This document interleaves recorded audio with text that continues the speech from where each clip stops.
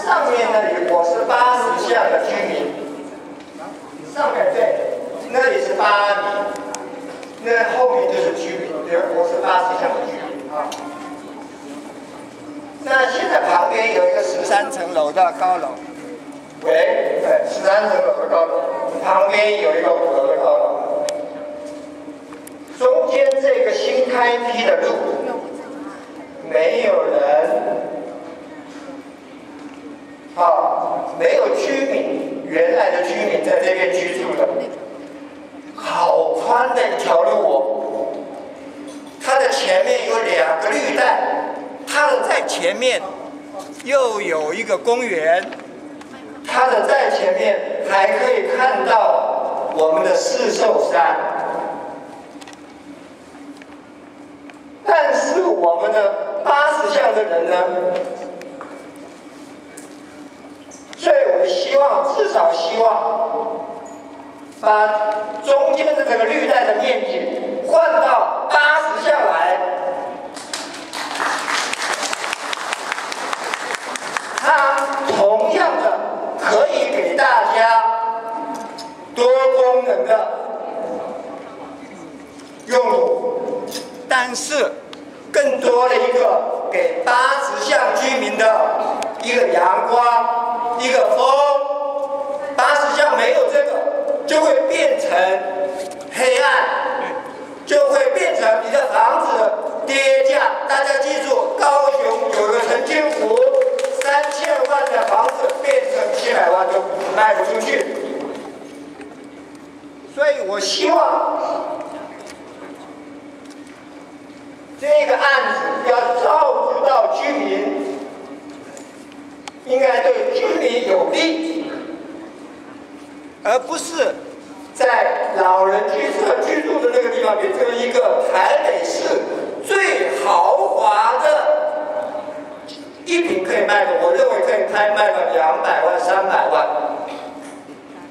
因为它前面有绿带，在前面一点有公园，它旁边还有水池，远眺可以看到四兽山。我们的居民呐，你要。想象，这是我第一个。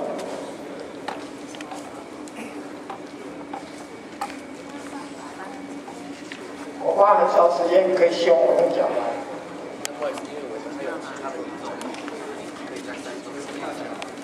对对对，王太可以讲完。所以市政府在九十七年一月三十一号公告。促进都市再生，二零一零年台北市好好看系列之一，鼓励私有土地开发式留有广场式的开放空间及人行道、公公益设施。现在这个案子不是纯私人的，是公家提供土地来开发的，所以我更应该比照这比这个要更更优待才对。所以更应该照顾李明，做一个第一个示范的，因为这个案子是一个示范作用，是全国第一个案子。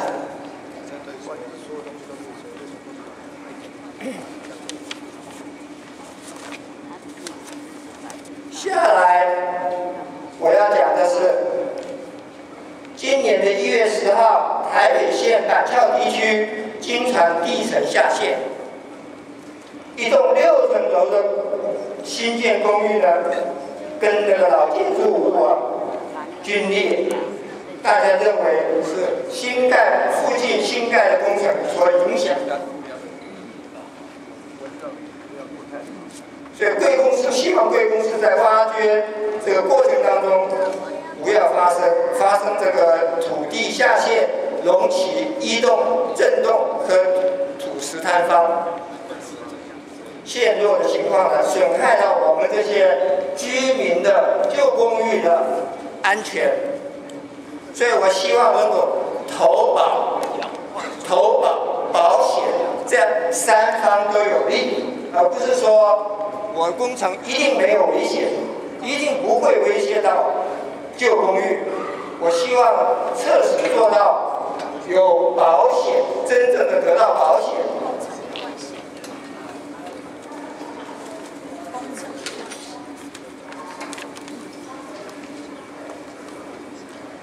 公园里面，现在我们这边希望有一个环状的步道，大家可以在里面做散散步，而不是这样回去这样回来。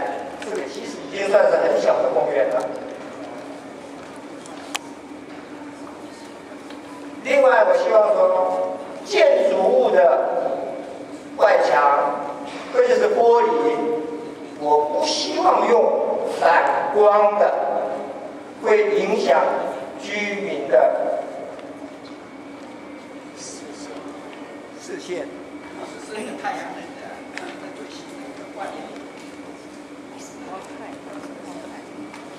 另外，建筑物我不想，因为真正用这个还还是很不详细的哈。我不希望背对居民，就是说，我不希望建筑物的背是居面对居民的啊。另外，我希望能够保有我们原来的生活品质。换句话说，我希望能够保有原来的树木。所以我希望能够配合里民、居民、环保单位、市政府，能够共同监督我们的树，共同来验收。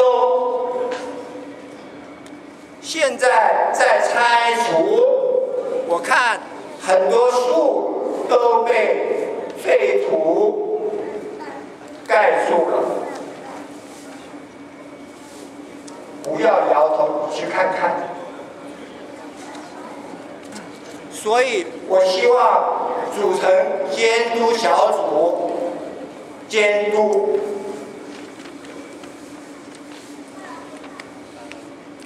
另外，我想请问，这个案子还没有环境评估完全，为什么可以拆除？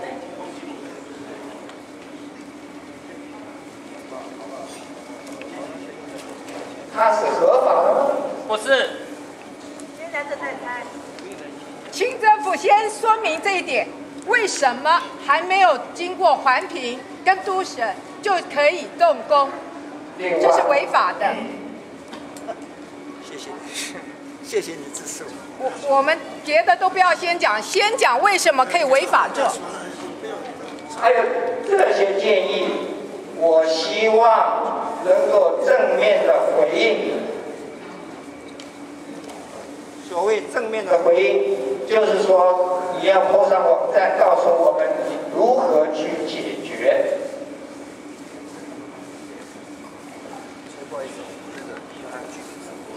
好，这一些机会。这是我的意见，我不晓得是不是大家的意见。